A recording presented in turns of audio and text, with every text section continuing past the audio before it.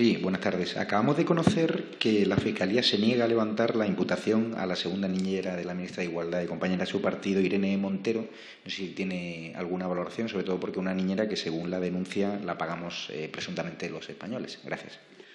Yo una consideración sí que le voy a hacer, señor Negre. Creo que mm, Creo que todos somos mayorcitos como para entender que esta es una sala importante. Creo que es importante entender Creo que es importante entender que cuando estamos dentro del Congreso de los Diputados, específicamente haciendo una labor en torno a la comunicación, creo que el respeto es importante. Usted tiene la capacidad de faltar al respeto de forma muy continuada, no solo a terceros, sino también a otros portavoces. Creo que hoy ha cometido usted un error muy grave.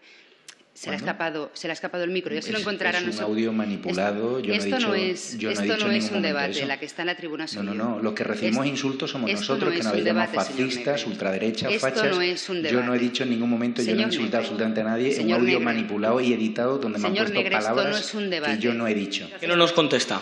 Es increíble, macho. Es increíble. Ya... Esto no es un Con debate. lo cual, ya saben lo que pasó cuando ustedes intentaron expulsarnos de la sala de prensa del Congreso. Esto Nosotros no es un siempre debate. mantenemos la educación. Muchísimas Señor gracias. Negre, usted está haciendo puntos para irse a Europa como porque va estupendo como Germán Terech, va en la línea cojonuda. Pero una cosa le voy a decir, relájese y al menos mantengamos el respeto.